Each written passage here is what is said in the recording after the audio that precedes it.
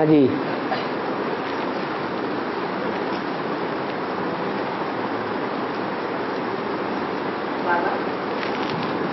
हाँ जी।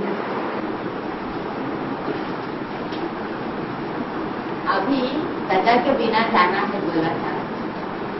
अभी सजा के बिना जाना है अभी। बाबा। बाबा तो जानते हैं ना कि कौन कौन बच्चे अच्छी पढ़ाई पढ़ने वाले हैं। अंतर्यामी है ना? तो किसको पढ़ाई पढ़ाता है? खास। आत्माओं को तो पढ़ाता है, लेकिन जो आत्माएँ पूरी पढ़ाई पढ़ती हैं, उनको खास पढ़ाई पढ़ाता है कि सबको खास पढ़ाता है। खास किसको पढ़ाता है? बाबा तो जानता है कि अच्छे अच्छे पढ़ने वाले कौन कौन हैं। जानता है या नहीं जानता है? इसलिए बोला। और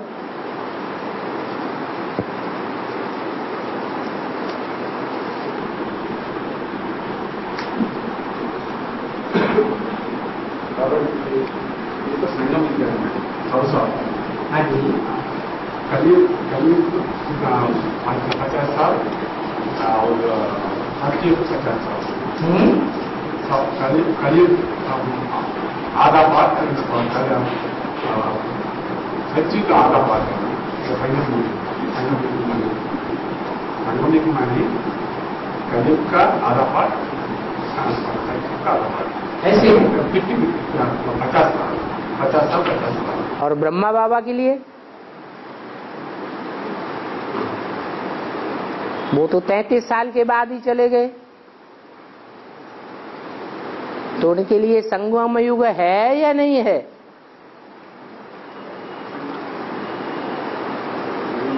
हैं?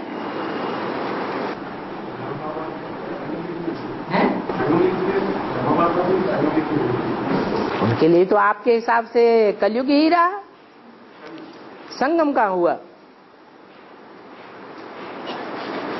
अच्छा बोलो, क्या कहना चाहते? तो कौन सा युग में हम रहते हैं अभी? ये तो अपने अपने पुरुषार्थ की बात है। अपनी अपनी स्टेज की बात है। जो खुशी में रहते हैं, उनके लिए बोला है, ये संगम युग है, मौजों का युग। बुद्धि में रहता है कि भगवान बाप आया हुआ है। हम भगवान की छत्र छाया में रहते हैं। तो जिसे भगवान की छत्र छाया मिली हो, भगवान की शरण मिली हो, उसका कोई कुछ बिगाड़ सकता है क्या? तो निश्चय बुद्धि विजयते। अगर अनिश्चय बुद्धि है तो घाटा आता रहेगा।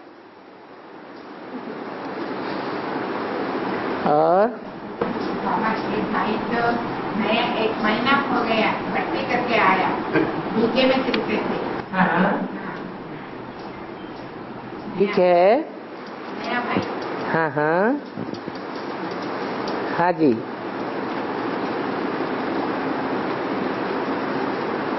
नया सो पुराना हो जाएगा? और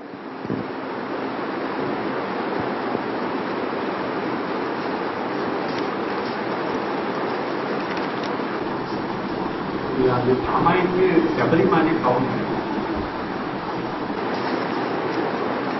शबरी उसे कहा जाता है जो शूद्राणी होती है। पवित्रता के लिए पुरुषार्थ नहीं किया है,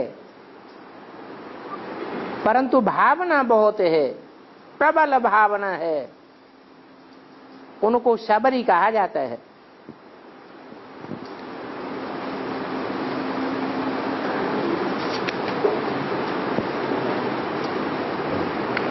और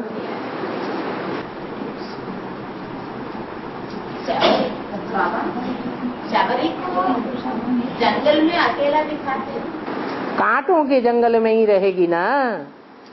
शूद्राणी है तो कहाँ रहेगी? शूद्र कहाँ रहते हैं? शूद्र तो कलयुगी दुनिया में कांटों के जंगल में ही रहते भक्तिन है या ज्ञानी है भक्तिन है।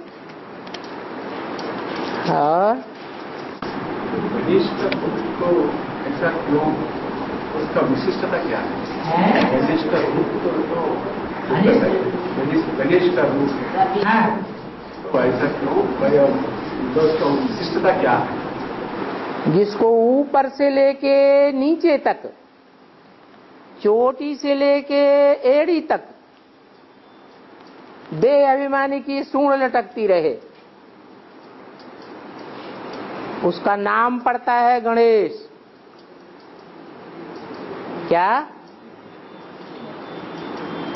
कौन है ऐसी आत्मा जिसको आदि से लेकर के अंत तक देह अभिमानी की सूढ़ लटकती ही रहती है?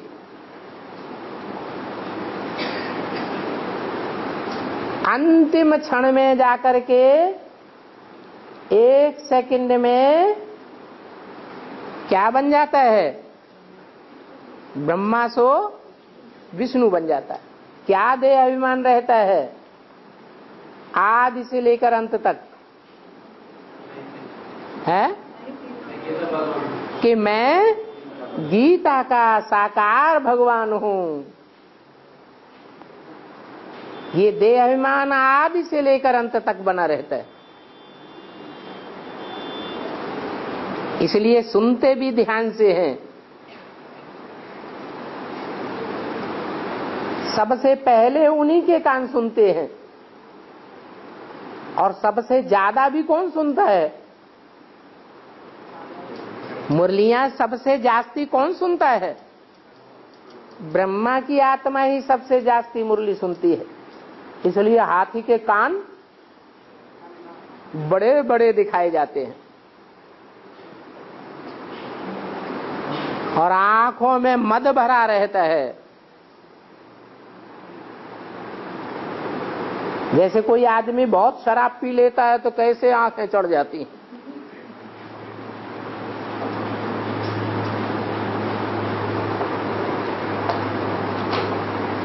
वो देह अभिमान का मद है कि निराकारी स्टेज का मद है। ब्रह्मा के फ़ोटो से देह अभिमान दिखाई देता है या निराकारी स्टेज दिखाई देती है। क्राइस्ट की तरह, बुद्ध की तरह, गुरु नानक की तरह निराकारी स्टेज नहीं दिखाई देती है। ब्रह्मा का एक भी फ़ोटो ऐसा नहीं है जिसमें निराकारी स्टेज दिखाई देती हो। तो हाथी का रूप दे दिया है। फिर भी बुद्धि विशाल है या संकुचित बुद्धि है? विशाल बुद्धि है, इसलिए पेट कैसा दिखाते हैं? बड़ा पेट दिखाते हैं। जो भी मुरली के पॉइंट्स सुनाए गए हैं भल बच्चा बुद्धि है। बच्चा जितना समझता है, उतना धारण कर लेता है। कोई सामान्य बच्चा नहीं है। बाप का सबसे प्यारा बच्चा कौन है? 500 करोड़ पत्तों में सबसे जास्ती प्यारा बच्चा कौन है? है? जो षष्ठी वृक्ष का पहला पत्ता है, वो बाप का बहुत प्यारा बच्चा है। जो पहलोटी का बच्चा होता है, बाप उसे वर्षा देते हैं। सारी ज़िंदगी की कमाई उसको सौंप देते हैं। तो बच्चा सर माथे पर रखा जाता है। इसलिए बल वो ज्ञान चंद्रमा संपूर्ण नहीं है, अधूरा है तो भी कहा स्थान देते हैं है? सर माथे पर मस्तक में स्थान देते हैं और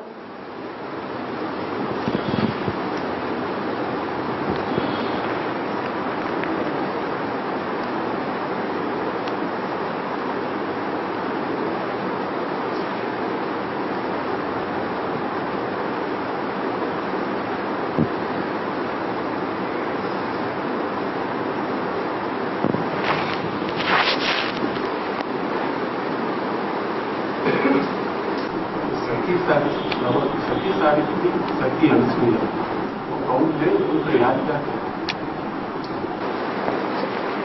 शास्त्रों में जो भी नाम पढ़ते हैं, किस आधार पर पढ़ते हैं?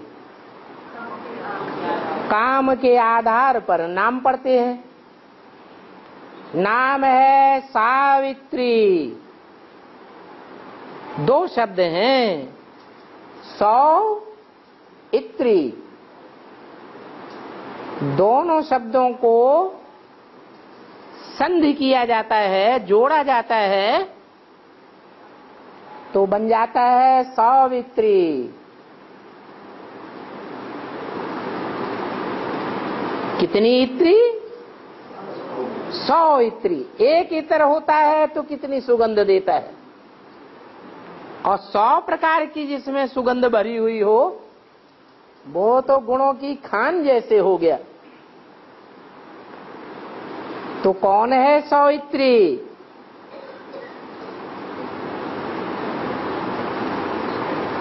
है?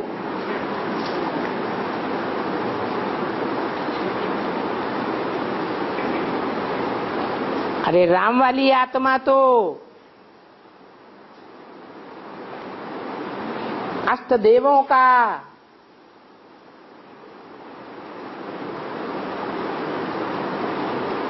समुच्चय धारण करती है। वो अष्टदेव सूर्यवंशी होते हैं या चंद्रवंशी होते हैं? हैं? असल सूर्यवंशी होते हैं। बाकी कितने बचे? हैं? सौ बचे। तो जो सौ मण के हैं माला के, उनमें अलग अलग प्रकार के गुण होंगे कि एक ही प्रकार के होंगे? अलग अलग प्रकार के गुण हैं। वो सौ प्रकार के गुण उस एक माता में भरे हुए हैं।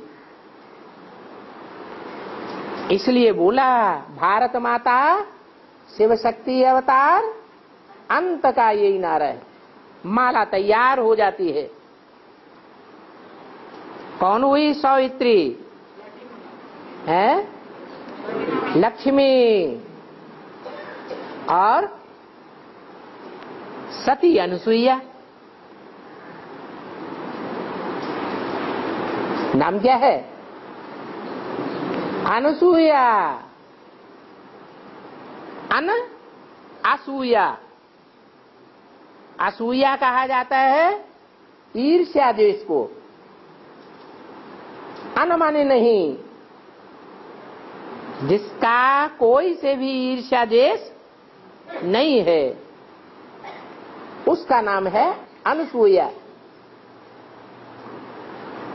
त्रिदेवों की तीन देवियाँ हैं। उनको भी ईर्ष्या देश पैदा होता है। शास्त्रों में दिखाया है। परंतु अनुसुईया को कोई ईर्ष्या देश किसी से नहीं है। इसलिए बाबा ने नाम रखा है परदादी।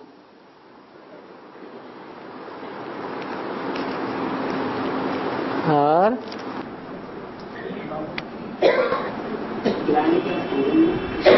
है ग्लानी का ग्लानी संगम कृष्ण का ग्लानि?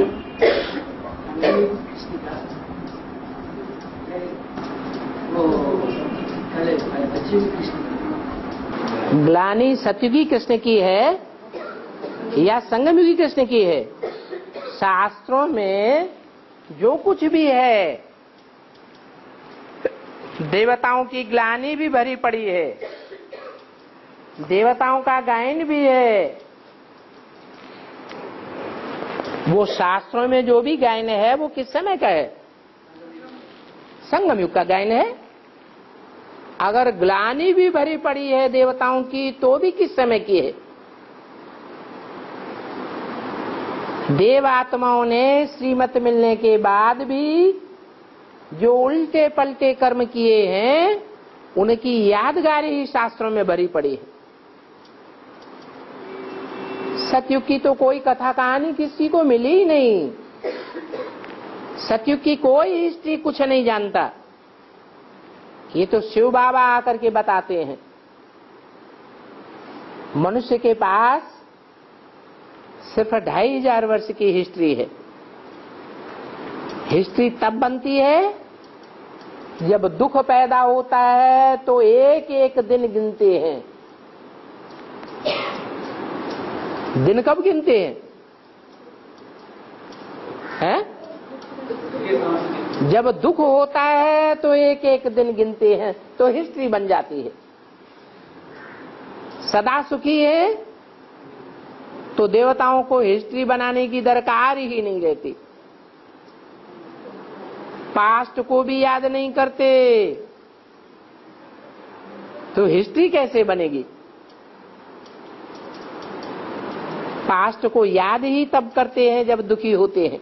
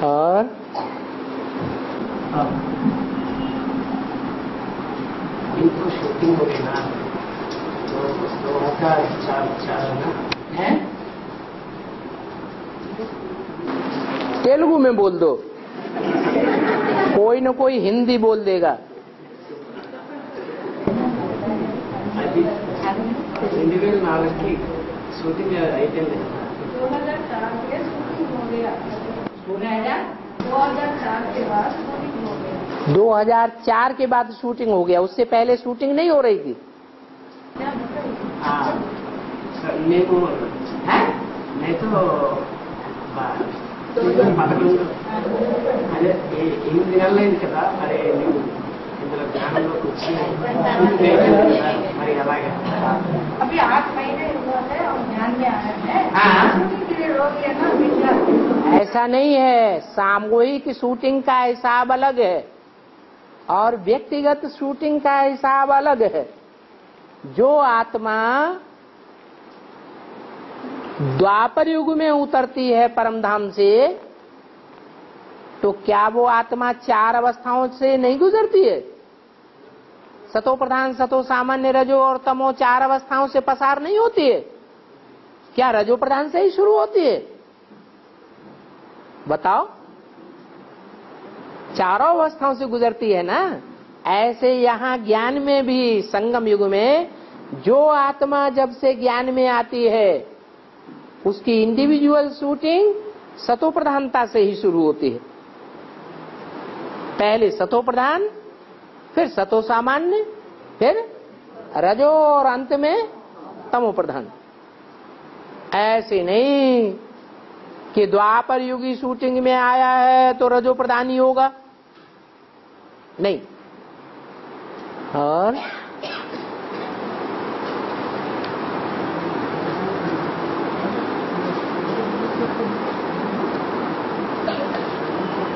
शबरी को शूद्र कहा जाता है।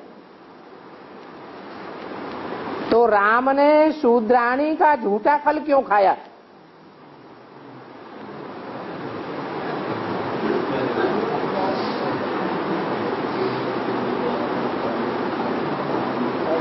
राम जो पार्ट है, उसमें भगवान पार्ट बजाता है कि मनुष्यात्मा पार्ट बजाती है। है? भगवान पार्ट बजाता है। भगवान को भी अहंकार होता है क्या? छोटे बड़े का। नहीं। भगवान अपने बच्चों को ही फल देता है। या जो अपने बच्चे नहीं होते हैं, ज्ञानी तो आत्मा नहीं होते हैं, भक्त आत्माएँ होती हैं, उनको फल नहीं देता। हाँ पहले अपने बच्चों को फल देता है, फिर भक्तों को भी फल मिलता है। ऐसे ही नहीं कि कलयुगी कांटों के जंगल में जो ढेर के ढेर भक्त रहे पड़े हैं, उनको भक्ति का फल नहीं मिलेगा। उनको भी फल भगवान आकर के देता है। बाकी मनुष्य आत्माओं को तो अहंकार आ जाता है। लक्ष्मण को अहंकार आ गया तो फल खाया या फेंक दिया? शबरी के झूठे फल खाए या फेंक दिए फेंक दिया भगवान को तो अहंकार नहीं आता भगवान तो प्यार देखता है फल नहीं देखता और బాబా అదే ఆ, అంటే గుళ్ళోని రుద్రాభిషేకాలు గట్ట చేస్తే దోషం పోతుంది అంటారు కదా.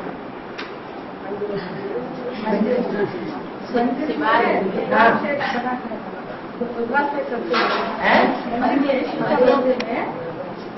मंदिर में करते हैं क्या करते अच्छा स्नान कराते हैं।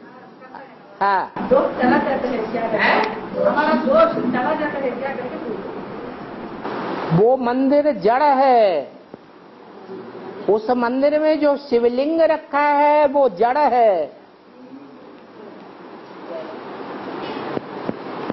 तो जड़ की पूजा करने से प्राप्ति होगी या चैतन्य की पूजा करेंगे तो प्राप्ति होगी? है? आपका बच्चा है, बच्चे की मूर्ति बनाए करके उसको खिलाएँगे, पिलाएँगे, उसकी परवरिश करेंगे तो वो मूर्ति बड़े होकर आपको सुख देगी? या जो आपका चैतन्य में बच्चा है, वो सुख देगा। सुख कौन देगा? है? चैतन्य में बच्चा ऐसे ही भगवान भी भक्ति का फल आकर के देता है। भक्ति होती है अंधश्रद्धा की।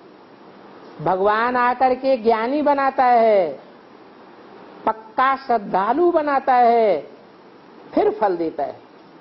तो मंदिर में जो जड़ मूर्ति है, जड़ लिंग रखा है, जड़ मंदिर है, भगवान आकर के चैतन्य मंदिर में प्रवेश करता है। चैतन्य मंदिर क्या हुआ? है? चैतन्य मंदिर हुआ, जिस शरीर में प्रवेश करता है, वो क्या हुआ? चैतन्य मंदिर हुआ। और उसमें जो आत्मा है, वो आत्मा ही लिंग है। उस लिंग में शिव परमात्मा प्रवेश करता है। बिंदु फिर फल देता है। तो किसकी पूजा से फ़ायदा होगा? जड़ की पूजा से फ़ायदा होता है या जन्म जन्मांतर नीचे गिरते जाते हैं? क्या होता है? जड़ लिंग और जड़ मंदिर में पूजा करने से नीचे गिरते हैं या ऊपर उठते हैं? नीचे गिरते हैं। और चैतन्य में? चैतन्य को अगर पहचान लिया, फिर उसकी जो पूजा है, पूजा माने सम्मान। अपमान नहीं। भक्ति मार्ग में तो अपमान करते आए। तू टट्टी में है, तू पेशाब में है, तू जानवर में है। तो अपमान हुआ। फिर भी अज्ञानता के कारण अपमान किया, इसलिए क्षमा कर देते हैं। अभी बोला ना, भक्ति मार्ग में त्रेसठ जन्म पाप किए तो एक गुना पाप चढ़ता है। और यहाँ ज्ञान में आने के बाद, भगवान को पहचानने के बाद अगर पाप करते हैं तो सौ गुना पाप चढ़ जाता है। इसलिए भक्ति मार्ग में कहते हैं, सदगुरु निंदक ठौर न पावे। सदगुरु निंदा सुनिए न काना। सदगुरु साकार होता है या निराकार होता है? सदगुरु तो साकार होता है। सच्चा और झूठा साकार में होगा या बिंदी में होगा? जब साकार रूप धारण करता है, तभी सच्चा और झूठा कहा जाता है। तो मंदिर में जो लिंग है वो जड़ है। भगवान चैतन्य में प्रवेश करके कार्य करता है। और? करना करना? करना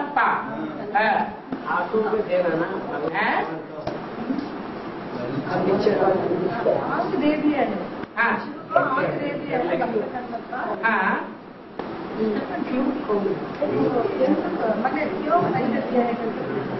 अरे ये आँख है तो जो कुछ देखती है, वो गंदा ही देखती है कि अच्छा देखती है? हैं? क्या देखती है? तो ये तो चली जाए तो कोई अर्जा नहीं। तो दे देता है। भगवान की आँख जो मिलेगी, वो कल्याणकारी होगी। और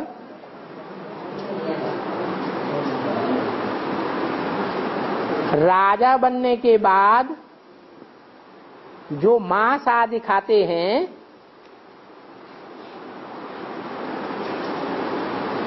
तिरसठ जन्मों में, राजाएँ मांस आदि खाते हैं ना, शिकार करके। तो यहाँ संगम युग में इसकी शूटिंग कैसे होती है? भक्ति मार्ग में जो मांस खाते हैं, वो स्थूल मांस होता है या चैतन्य मांस होता है? अरे स्थूल मांस माने मरे हुए जानवर का मांस। जड़ मास होता है या चैतन्य होता है? हैं? जड़ होता है। जैसे अभी मंदिर की बात बताई, ऐसे ही भक्ति मार्ग में जो राजाएँ मांस खाते हैं, शिकार करके, वो मांस जड़ होता है। वो जड़ मांस खाने से जड़ शरीर का खून बनता है। क्या? खून काय का बनेगा? ये जड़ शरीर का बनेगा ना? आत्मा का संकल्पों का खून तो नहीं बनेगा। कि बनेगा? नहीं बनेगा। लेकिन ज्ञान मार्ग में आने से जो राजा बनने वाली आत्माएँ हैं, उनके तिरसठ जन्मों के संस्कार हैं मांस खाने के। तो यहाँ जो चैतन्य मास है वो चैतन्य मांस खाते हैं। देह अभिमान का। देह अभिमान का मांस खाने से आत्मा के अंदर संस्कार भर जाते हैं। तिरसठ जन्मों के। नहीं तो होना क्या चाहिए? बाबा ने तो बताया है, भले साथ में रहो। स्त्री पुरुष साथ में रहो। लेकिन बुद्धि में देह का सुख नहीं भोगना है। क्या देखना है एक दूसरे को? देह देखना है, देह का सुख लेना है या आत्मा देखना है? आत्मा देखना है। आत्मिक सुख लेना है। अगर देह को देखते हैं तो जैसे देहधारी का शिकार कर लिया। जानवर देहधारी होता है या आत्मा को धारण करता है? देहधारी होता है। तो वहाँ देहधारी जानवर का शिकार करते हैं। और यहाँ देह अभिमानी मनुष्य का या स्त्री का शिकार करते हैं। ये शिकार करने से आत्मा में तिरसठ जन्मों के विकार भर जाते हैं। विकारी संकल्प बनेंगे या नहीं बनेंगे? विकारी संकल्प भर जाते हैं। आत्मा को याद करने से, आत्मा को देखने से निर्विकारी देवताओं के संकल्प भर जाएँगे। तो ये शूटिंग होती है। नहीं समझ में आया? अरे, ये बात समझ में आई कि भक्ति मार्ग में राजाएँ शिकार करके मांस खाते हैं, उसकी शूटिंग यहाँ कैसे हो रही है? शूटिंग हो रही है या नहीं हो रही है? हो रही है।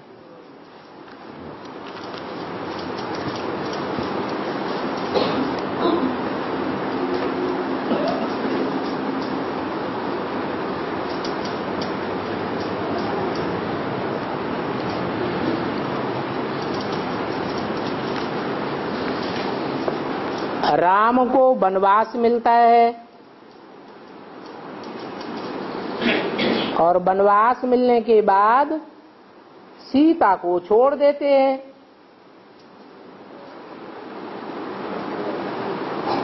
किसके ऊपर कलंक लगाया?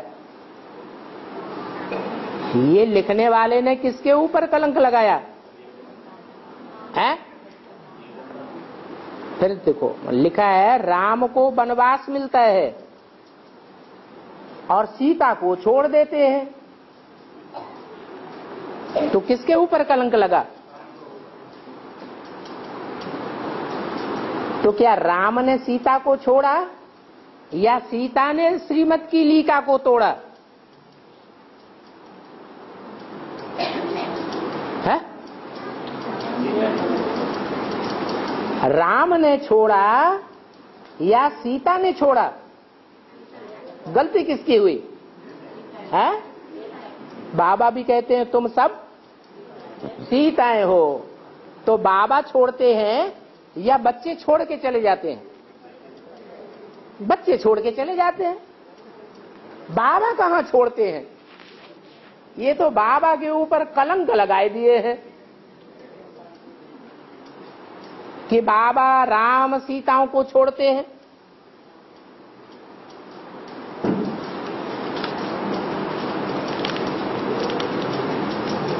और अगर सकरी का गुरु एक बार सकरी से कहा दिया कि मरने के समय में कपड़ा पानी पे भरेगा जब तो सूखेगा तब काम आएगा समझा? इन्होंने किसी ने समझा ही नहीं आपने क्या बोला? सकरी का गुरु मरने के समय में सकरी से बताया तो कपड़ा पानी में भर दिया जब तो कपड़ा सूखेगा तब राम आएगा। है? शबरी का क्या कथा कहानी हुई सूर्य का गुरु है ना वो शबरी का कोई गुरु है हाँ कपड़ा गुरु दिए गुरु कपड़ा दिया ना का कोई गुरु है। दिया शबरी शबरी को उसके गुरु ने कोई कपड़ा दिया। कपड़ा पानी में डुबा दिया एक पा- एक फिर भी वो सुखाने के बाद वो आ गए ऐसे सूखे उस कपड़े को सुखाने के बाद हाँ, सुखाते ही आ जाएगा। अरे।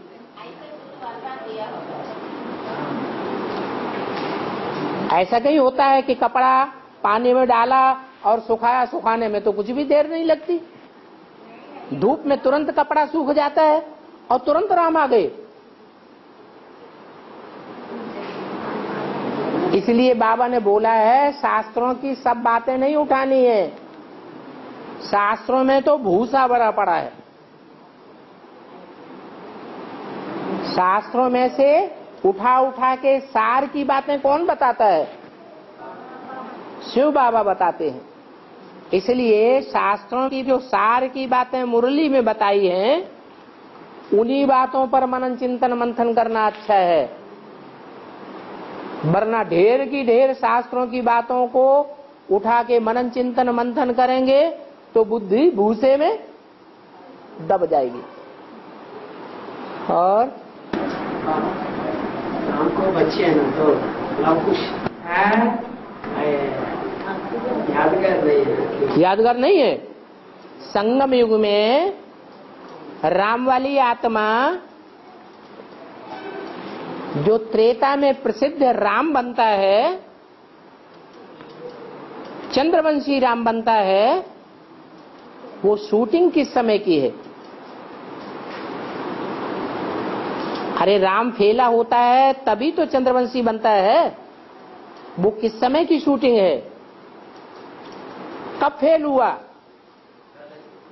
यज्ञ के आदि में फेल हुआ, मध्य में फेल हुआ या अंत में फेल हुआ? है? आदि में फेल हुआ। तो वो राम वाली आदि में जो आत्मा फेल हो जाती है वो त्रेता में उस फेलियर पने की प्रारब्ध पाती है।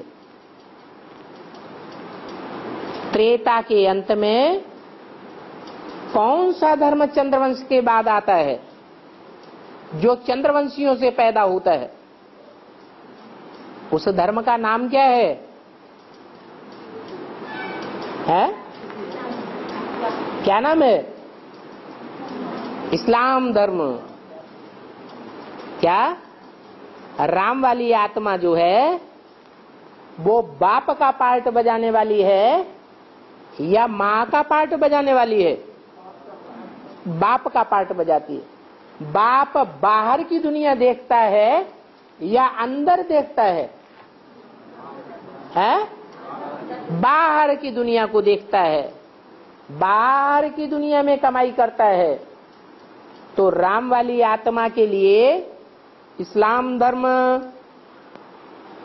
क्रिश्चियन धर्म, मुस्लिम धर्म, वगैरह वगैरह वगैरह। जितने भी विदेशी धर्म हैं, वो राम बाप से पालना लेने वाले हैं। क्योंकि बाहर की दुनिया की पैदाइश करता है।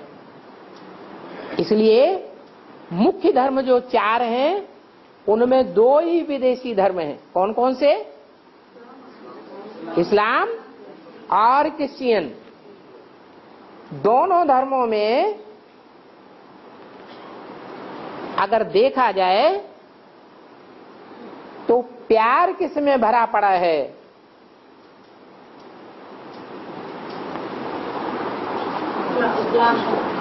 इस्लाम धर्म में प्यार भरा पड़ा है। देह अभिमानी तो सब होते हैं। परंतु दैहिक प्यार के रूप में अगर देखा जाए तो इस्लामियों में बहुत प्यार भरा पड़ा है।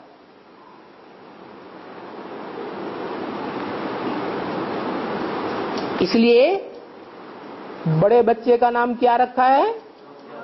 लव। ये नाम किस आधार पर रखे हैं? काम के आधार पर नाम रखे फिर छोटा बच्चा है क्रिश्चियन क्राइस्ट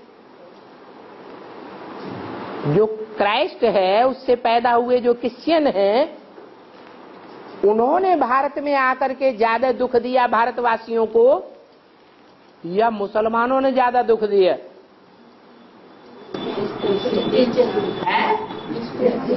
क्रिश्चियंस ने ज़्यादा दुख दिया। इसलिए दुख देने वाले का नाम रख दिया है कुछ कुछ कहते हैं कांटा।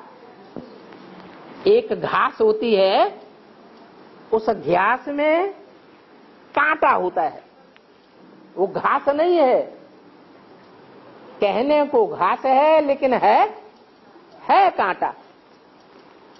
तो उसका नाम रख दिया कुछ छोटे बच्चे का नाम। छोटा बच्चा ज़्यादा शैतान होता है मोस्टली दुनिया में या बड़ा बच्चा ज़्यादा शैतान होता है दुखदाई कौन सा होता है? छोटा ज़्यादा होता है। तो ये दो बच्चे पैदा हुए लव और कुश। और हाँ, योग अधिक ज्ञान जल कहते हैं। है? योग अधिक ज्ञान जल कहते हैं। हाँ? हाँ। योग को अग्नि कहते हैं हाँ और ज्ञान को जल, जल कहते हैं। हाँ। जल से जल को भिलोने से मक्खन नहीं आती है। जल को भिलोने से मक्खन नहीं आती है और दूध को भिलोने से मक्खन आती है हाँ और ज्ञान को क्यों? दूध से नहीं करते थे टैली नहीं करते हैं। क्योंकि जो ज्ञान है, ज्ञान तब कहा जाता है जब शिव बाबा आकर किसी मुकर्र रथ में प्रवेश करके बच्चों को ज्ञान देते हैं। ज्ञान मिला ना बच्चों को कि दूध मिला? ज्ञान मिला। अब जितने भी बच्चे होते हैं वो बच्चे उस ज्ञान को मंथन करके सार निकालते हैं क्या? है? नहीं निकालते। तो वो जल है।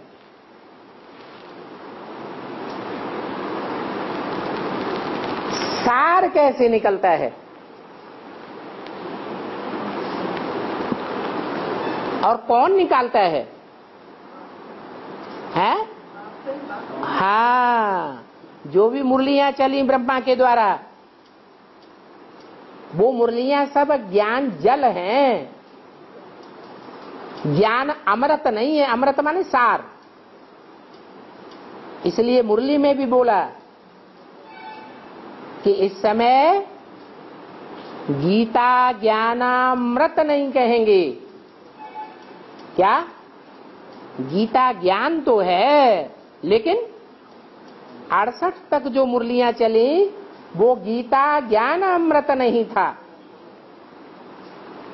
उसके बाद कोई आत्मा निमित्त बनती है मुकर्र रथधारी। जो उस ज्ञान जल में सार निकाल लेती है। वो आत्मा निकालती है कि शिव उसमें प्रवेश करते हैं, इसलिए निकालती है। शिव की प्रवेशता के कारण वो ज्ञान जल नहीं है, ज्ञान का दूध हो जाता है। उस दूध का मंथन करने से सार अर्थात मक्खन अर्थात अमृत निकलता है। उस अमृत से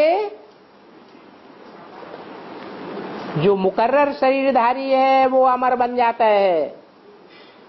और उस अमरनाथ के बच्चे अमर देवता बन जाते हैं। इसलिए जो भी गंगाएँ हैं, वो गंगाएँ जल की गंगाएँ हैं। या दूध की गंगाएँ हैं, जल की गंगाएँ हैं। चाहे वो पानी की जड़ गंगा हो और चाहे वो चैतन्य गंगाएँ हो, जो चैतन्य गंगाएँ हैं, वो भी कोई नई नई बातें नहीं निकालती हैं। निकालती है क्या?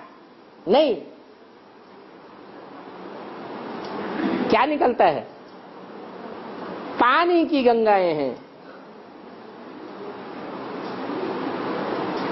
सागर को मंथन करने से क्या निकलता है? रतन निकलते हैं। तो शिव ज्योति बिंदु जब साकार मुकर्र रथ में प्रवेश करता है तो सागर का रूप धारण कर लेता है। शिव है सूर्य। वो धरणी से बहुत दूर रहता है या नज़दीक रहता है? बहुत दूर है। और सागर? धरणी से चिपक के रहता है या दूर रहता है? चिपक के रहता है। तो सागर कौन हुआ? सूर्य कौन हुआ? और धरणी कौन हुई? है? सागर हुआ। राम बाप जिसमें प्रवेश करके शिव ज्ञान सागर बनता है। और जगदम्बा हुई धरणी। और शिव हुआ ज्ञान सूर्य। और चंद्रमा कौन हुआ? जो चंद्रमा सतयुग त्रेता में धरणी की गोद में ही रहता है। और द्वापर कलयुग में धरणी की गोद में नहीं रहता है, दूर हो जाता है। परंतु माता के चारों ओर ही चक्कर काटता है।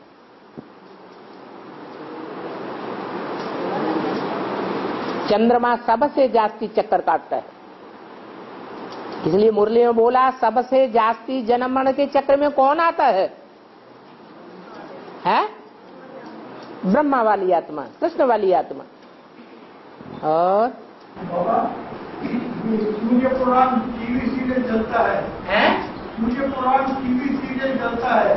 सूर्य पुराण हाँ उसमें अत्रि और अनुसुया का बच्चा चंद्रमा बोलता है। है। वो क्या है? अत्रि और जो अनुसुईया है, उसका बच्चा जो चंद्रमा कहा गया है, उससे चंद्रवंश पैदा होता है। अनुसुईया कौन सी माला का मणका है? है?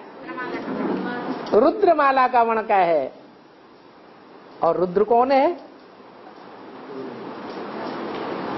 रुद्र कौन है? शिव बाबा रुद्र है? रुद्र तो है। वो रुद्र तीन में से एक है, तीन देवताओं में से। या कोई अलग है? है? तीन में से एक है, वो रुद्र है। लेकिन जब तक वो तीसरा प्रत्यक्ष नहीं होता है,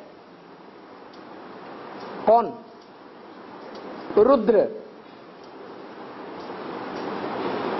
जब तक प्रत्यक्ष नहीं होता है, तब तक वो अत्रि है या रुद्र है? है? आ माने नहीं, त्रि माने तीन। वो तीन नहीं है। अत्रि है। इसलिए यज्ञ के आदि में ज्ञान चंद्रमा की उत्पत्ति किससे हुई?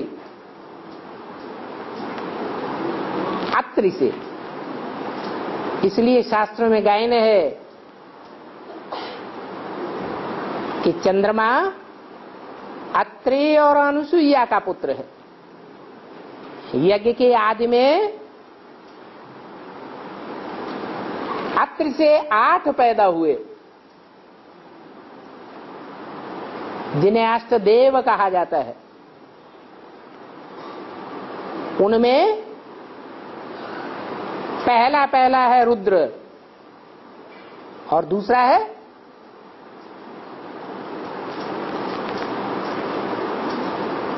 दूसरा क्या है? अनुसुईया, जिसे काशी नगरी नाम दिया गया। ऐसे ऐसे कहानी बना दी है। और? महाभारत में अभिमन्यु और घटोत्कच बहुत सारे तो अभिमन्यु घटोत्कच। वो कौन है पता है अगर क्या है? अभिमन्यु का अर्थ क्या है? हैं? अभिमन्यु किस शब्द से बना है? अभिमान। जिसके अंदर अभिमान रहता है कि मेरा बाप बड़ा धनुर्धारी है। मेरे बाप के मुकाबले धनुर्धारी पुरुषार्थी कोई दुनिया में है ही नहीं। उस बच्चे को ये अहंकार रहता है या नहीं रहता है? है? ये देह का अहंकार है या आत्मा का अहंकार है? देहधारी बाप का अहंकार है। दूसरा अहंकार क्या रहता है? मेरा गुरु स्वयं भगवान है। कौन है? स्वयं मेरा भगवान गुरु है। ये अहंकार रहता है। ये दो अहंकार के कारण फेलियर होता है या पास होता है। जीते जी भगवान से प्राप्ति करता है, या शरीर छोड़ देता है? हैं? शरीर छूट जाता है। पांडव जीवित रहते हैं, लेकिन अभिमन्यु शरीर छोड़ देता है। और दूसरा नाम? घटोत्कच अभिमन्यु अर्जुन का बच्चा था। और घटोत्कच भीम का बच्चा था। घट। घट माने क्या है? घड़ा। घट माने घड़ा। ये क्या है? हैं? ये घड़ा है। इस घड़े में क्या भरा हुआ है? ज्ञान जल भरा हुआ है। अब वो चाहे घड़े में। ज्ञान जल भर दो चाहे अज्ञान जल भर दो है तो घड़ा ये आत्मा का घड़ा है। और पेट का घड़ा कौन सा है? ये पेट का घड़ा है। देह अभिमान का घड़ा है। तो भीम को कौन सा अहंकार जास्ती रहता था? आत्मा का अहंकार जास्ती रहता था कि देह के विशालपने का अहंकार जास्ती रहता था।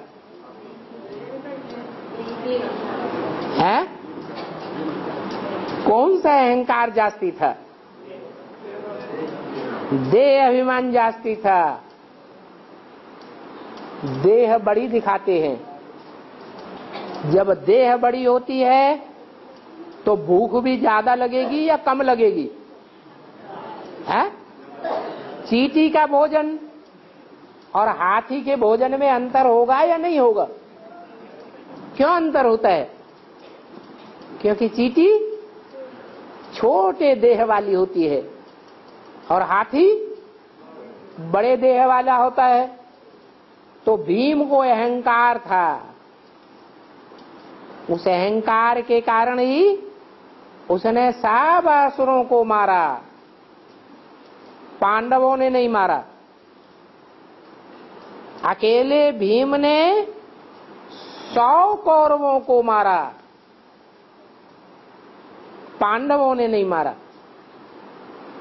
अकेले भीम ने देह अभिमान दिखाने वाले सौ कीचकों को मारा। कीचक क्या करता था? कीचक माने गंदे ब्रूट्स लोग, जो ब्रह्मा कुमारियों के पीछे पड़ते हैं, उनको कहा जाता है कीचक। ऐसे कीचकों को हत्या कर दे।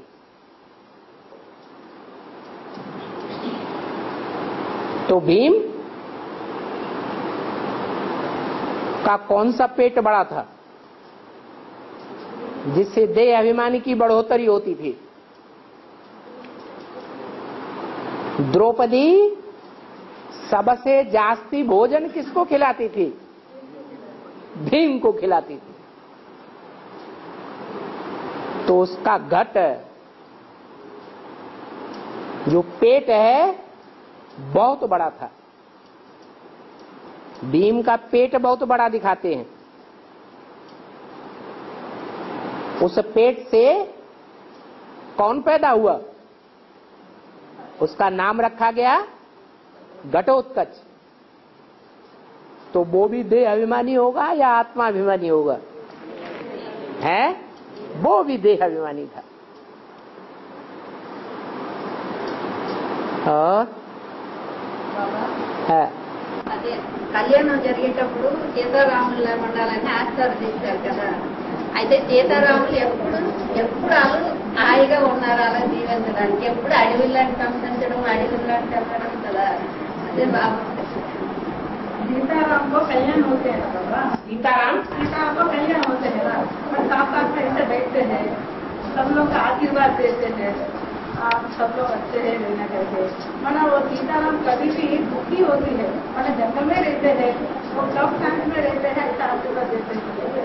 जंगल में रहते हैं? हमेशा थोड़े ही जंगल में रहते हैं। जैसे पांडवों को दिखाया है कि तेरह चौदह साल ही जंगल में रहते हैं, कांटों के जंगल में। दुखी दुनिया में चक्कर लगाते हैं। दुखी दुनिया माने कांटों का जंगल, दुख देने वाली दुनिया। वो ही बात है रामायण में दिखा दी है राम सीता के लिए। कि वो चौदह साल जंगल में रहते हैं। कांटों का जंगल हमेशा थोड़े ही रहते हैं। और उनको आशीर्वाद दे दे हुए दिखाते हैं। वो जंगल में आशीर्वाद देते हुए दिखाया है कि जब जंगल से बाहर आ जाते हैं, गद्दी पे बैठते हैं, तब आशीर्वाद देते दिखाते हैं। कब दिखाते हैं? है?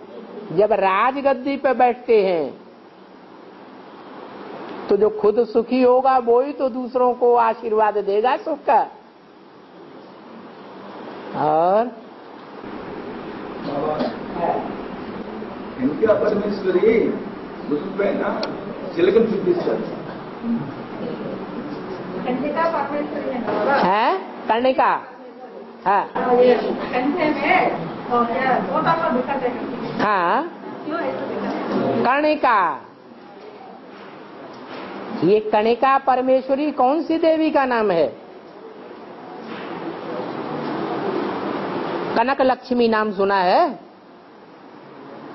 कहाँ की यादगार है? वो मंदिर कहाँ है? है? विशाखापट्टनम में ही है। उसी का नाम कणिका परमेश्वरी है। क्या? हाँ। जो कणिका परमेश्वरी है, परम ईश्वरी है छोटी मोटी ईश्वरीय नहीं है। उसके कंधे पर तोता है। शिव के मंदिर में कौन से दो पक्षी दिखाते हैं? एक तो कबूतर दिखाते हैं। वो कबूतर कंधे पर नहीं बैठा हुआ है। जिसके गले में से ज्ञान की आवाज़ ही नहीं निकलती। वो शिव बाबा के मंदिर में रहते तो हैं। अभी भी शिव बाबा के मंदिर में माउंट आबू में बैठे हुए हैं या नहीं बैठे हैं? बैठे हैं ना? बैठे तो हैं, लेकिन उनके अंदर से, गले से ज्ञान की आवाज़ नहीं निकलती। ये ज्ञान उनके मुख से नहीं निकल सकता कि भगवान कौन है। भगवान की पहचान का ज्ञान वो नहीं दे सकते। वो अंदर ही घुटघुटा के बैठे हुए हैं।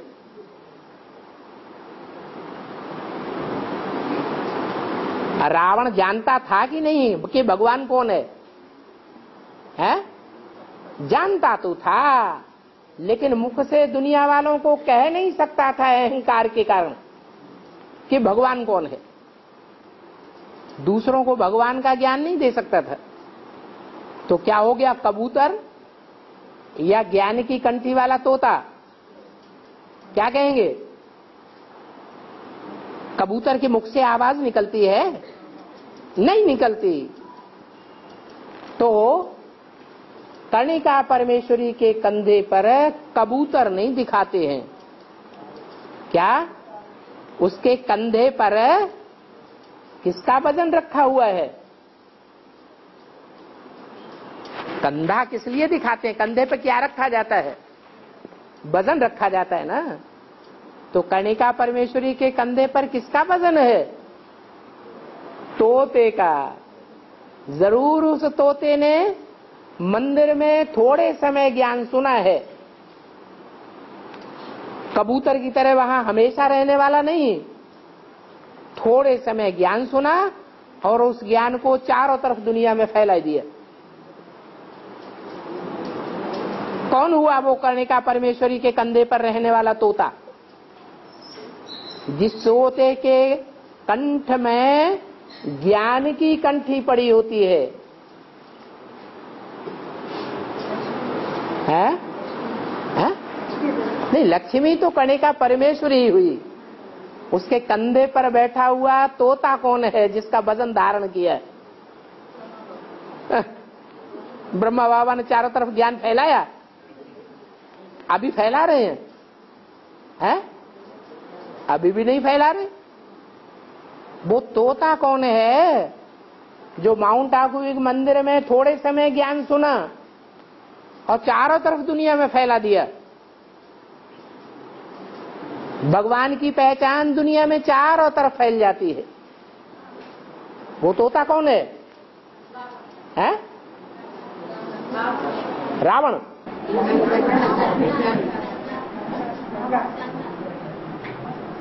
गंगा। हाँ।